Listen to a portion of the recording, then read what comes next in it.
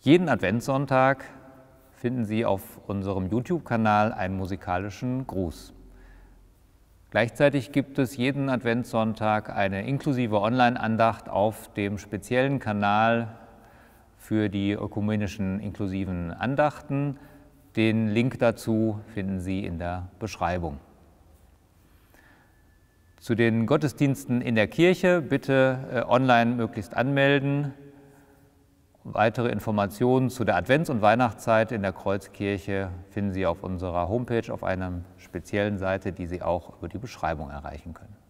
Wir wünschen Ihnen einen schönen dritten Advent.